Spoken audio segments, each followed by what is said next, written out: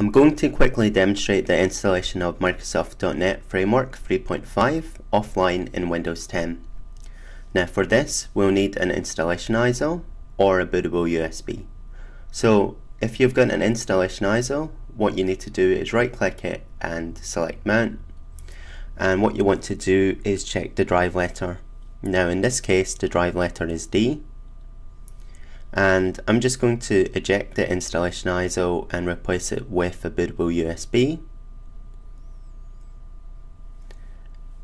and I'll check the drive letter of my bootable USB now. And it's also D.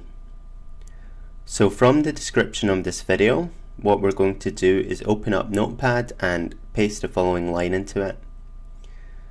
And we're going to right click it and then select copy and if your drive letter wasn't D then you would need to replace the D in this video with an E or with an F.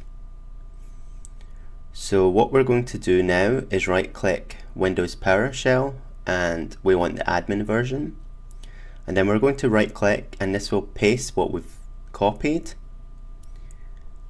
And then we're going to press return and now it'll take a couple of minutes to install the Microsoft.NET Framework 3.5 and we'll see the progress in the PowerShell window. And that's the Microsoft.NET Framework version 3.5 installed. And I'm just going to go ahead and type in exit and then press return to close the Windows PowerShell.